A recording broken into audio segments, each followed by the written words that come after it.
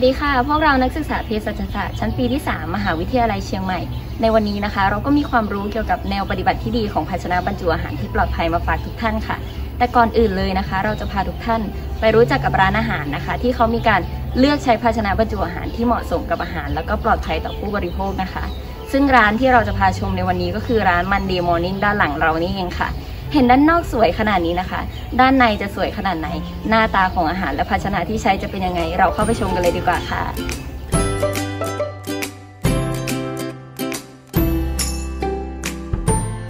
ค่ะตอนนี้นะคะเราก็อยู่กับเจ้าของร้าน Monday Morning นะคะ ซึ่งจะเป็นผู้ให้ข้อมูลกับเราในวันนี้ค่ะ สวัสดีคค่ะ รับสวัสดีครับ ครับ พี่ชื่อสรายุสุภจิตนะครับ ชื่อเล่นก็บิลลี่ครับผม อายุ 29 ปีแล้วครับ ก็เป็นเจ้าของร้าน Monday Morning Cafe ครับก็เริ่มกันที่คำถามแรกเลยเนาะก็อยากทราบว่าทางร้านมีการใช้ภาชนะแบบไหนในการบรรจุอาหารบ้างคะครับถ้าเป็นที่ทานที่ร้านนะครับ ก็ก็จะใช้เป็นพวกแก้วแล้วก็เซรามิกส่วนใหญ่เลยครับ แล้วก็ถ้าเป็นของ Take Away ที่ลูกค้าสั่งกลับบ้านหรือว่า Delivery เนี่ยก็จะเป็นกล่องที่มีทั้งเป็นแบบพลาสติก แล้วก็เป็นแบบกระดาษครับ แล้วก็ถุงที่เราหิ้วก็คือจะเป็นถุงกระดาษเลยครับ ก็วัสดุส่วนใหญ่ก็คือจะค่อนข้างดูในเรื่องของความคงทนก็คือใส่อาหารแล้วแล้วมันไม่บุบไม่ยุ่ยง่ายในระหว่างที่เราขนส่งไปถึงลูกค้าอะไรเงี้ยครับเราก็จะเห็นนะคะว่ามีการเลือกใช้วัสดุที่หลากหลายในการเอามาบรรจุอาหารนะคะ ก็เลยสงสัยว่าเวลาที่เราเลือกใช้วัสดุเนี่ยมี แรกน่าจะเป็นเรื่องของความแข็งแรงคงทนครับก็คือบางทีเราเราใช้แอปพลิเคชันต่างๆเนาะที่ตอนนี้ก็จะมีอยู่หลายเจ้าอยู่ ซึ่งอันนี้เนี่ยเราไม่ได้ควบคุมในหลักในการขนส่งเอง บางทีเราอาจจะต้อง save ตัวเองในการที่เลือกกล่องหรือภาชนะต่างๆเนี่ยให้แบบว่าคงทนแล้วพอไปถึงมือลูกค้าแล้วก็ยังสมบูรณ์อาหารเราอ่ายังอยู่ในสภาพที่ดี แล้วก็อีกประการหนึ่งก็คือเรื่องของอุณหภูมิ เพราะว่า ถ้าอย่างเป็นข้าวหรือเป็นเป็นอาหารเนี่ยครับก็คืออาจจะต้องเป็นอ่าเก็บอุณหภูมิร้อนได้ แล้วก็อย่างอันนี้ก็คือพี่สามารถ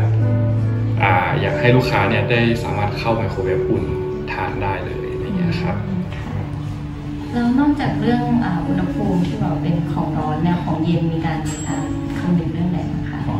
ครับส่วนของเย็นก็คือทางร้านถ้าเป็นแก้วที่ส่ง หรือว่าแก้วกลับบ้านก็คือจะเป็นแก้วพลาสติกครับแต่ก็คือจะมีในส่วนของปิดฟ้าให้แล้วก็มีการเหมือนใส่ถุงพลาสติกคลุมอีกรอบหนึ่งเพื่อให้กันการหกแล้วก็อาจจะช่วยอุณหภูมิได้นิดนึงอะไรอย่างเงี้ยครับค่ะก็ขอบคุณพี่พิลลี่มากนะคะที่มาให้ข้อมูลกับเราครับผมยินดีมากครับครับขอบคุณครับค่ะและต่อมานะคะเราจะมาให้ข้อมูลเกี่ยวกับแนวปฏิบัติที่ดีของภาชนะบรรจุอาหารที่ปลอดภัย โดยอันดับแรกจะกล่าวถึงหลักในการเลือกใช้ภาชนะบรรจุอาหารที่เหมาะสมค่ะ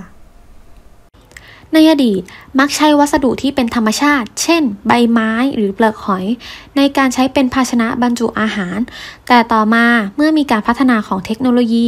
มีการนำวัสดุที่หลากหลายมาใช้มากขึ้น ไม่ว่าจะเป็นพลาสติก เซรามิก หรือเมลามีน ซึ่งจะมีคุณสมบัติในการใช้งานที่แตกต่างกันไป ตามความเหมาะสมของชนิดอาหาร สิ่งที่ต้องระวังคือ อาจมีสารที่เป็นอันตรายละลายออกจากวัสดุ ในขณะที่สัมผัสกับอาหารทำให้ปนเปื้อนกับอาหารที่รับประทานเข้าสู่ร่างกายของผู้บริโภค อันตรายที่เกิดขึ้นจะไม่ใช่พิษเฉียบพลัน แต่จะค่อยๆสะสม และใช้เวลานานจึงจะแสดงอาการออกมาทำให้ผู้บริโภคไม่ตระหนักถึงอันตรายที่เกิดขึ้นจากภาชนะเท่าที่ควร ดังนั้นจึงมีหลักในการเลือกใช้ภาชนะดังนี้ 1. ใช้งานให้ถูกวัตถุประสงค์ เช่น ไม่นำกล่องใส่ของพลาสติกมาใช้บรรจุอาหาร เพราะกล่องเหล่านี้มักทำจากวัสดุพลาสติกเกรดต่ำ จึงมีโอกาสสูงมากที่สารพิษจะปนเปื้อนสู่อาหาร ข้อ 2. ใช้งานให้ถูกต้องตามความเหมาะสม เช่น ไม่นำภาชนะเมลามีน เข้าอบในเตาไมโครเวฟ หรือไม่นำภาชนะโฟมใส่อาหารที่ร้อนจัด ข้อ 3. ดูแลรักษาภาชนะอย่างเหมาะสม เช่น ไม่ทำความสะอาดภาชนะเมลามีน ด้วยวัสดุทำความสะอาดที่มีความแข็ง เช่น ฝอยขัดหม้อ เพราะอาจทำให้ภาชนะเป็นรอย และอาจทำให้สารฟอร์มาลดีไฮด์แพร่ออกจากภาชนะสู่อาหาร ข้อ 4. ผลิตจากวัสดุที่มีคุณภาพ มีความปลอดภัย หลีกเลี่ยงภาชนะที่มีโลหะหนักเป็นองค์ประกอบ รวมถึงสารอื่น ๆ ที่เป็นอันตรายต่อร่างกายของผู้บริโภค ภาชนะบรรจุอาหารประเภทกระดาษปัจจุบันมีการใช้กระดาษมาบรรจุอาหารอย่างแพร่หลาย เพื่อทดแทนการใช้พลาสติกและโฟม ซึ่งเป็นวัสดุที่ย่อยสลายยากทำให้เกิดปัญหาด้านขยะและสิ่งแวดล้อม แต่การใช้ภาชนะกระดาษที่ไม่ได้มาตรฐาน อาจทำให้เกิดอันตรายต่อผู้บริโภค ซึ่งอันตรายจากวัสดุสัมผัสอาหารประเภทกระดาษส่วนใหญ่มาจากหมึกพิมพ์ ซึ่งอาจมีโลหะหนัก หรือตัวทำละลายของสีและหมึกพิมพ์ที่ตกค้างอยู่ ในกรณีที่เป็นกระดาษที่ผ่านกระบวนการรีไซเคิลเพื่อนำกลับมาใช้ใหม่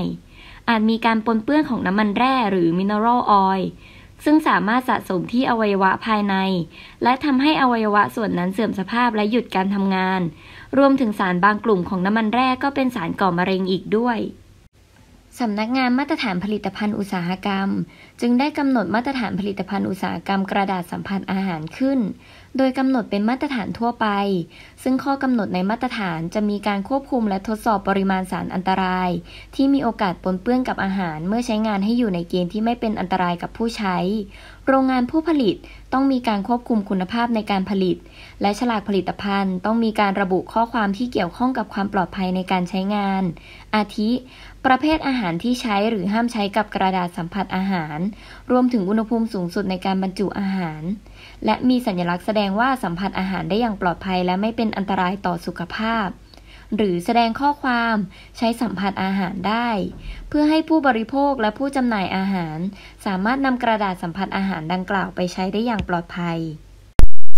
และต่อไปคือ ตัวอย่างภาชนะบรรจุอาหารประเภทกระดาษที่ทางร้านเลือกใช้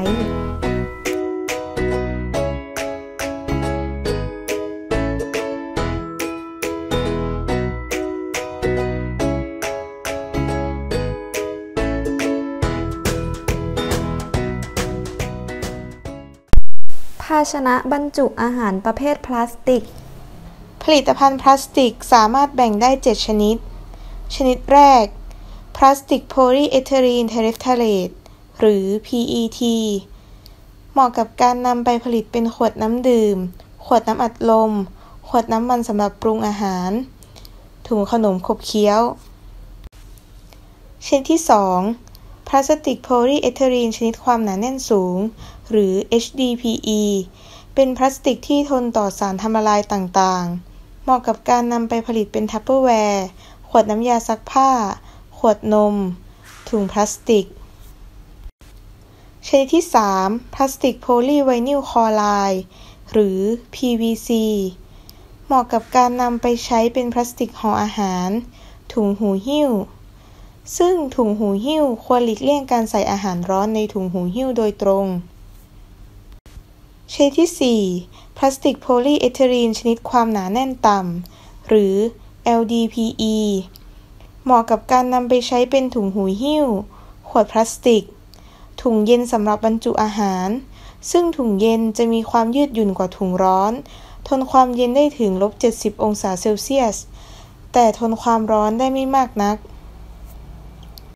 ชนิดที่ 5 พลาสติกโพลีโพพิลีน หรือ PP เหมาะสำหรับนำไปใช้เป็นถุงร้อนสำหรับบรรจุอาหาร ซึ่งถุงร้อนจะมีลักษณะใสกว่าถุงเย็น ทนความร้อนสูงถึง 100 องศาเซลเซียส และทนไขมันได้ดี นอกจากนี้ยังมีการนำไปใช้เป็นขวดใส่เครื่องดื่ม ซองขนม และภาชนะบรรจุโยเกิร์ต ชนิดที่ 6 พลาสติกโพลีสไตรีน หรือ PS เหมาะสำหรับนำไปเป็นกล่องสำหรับบรรจุอาหาร และใช้สำหรับพลาสติกที่ใช้แล้วทิ้ง เช่น ถ้วย ช้อน ส้อม มีด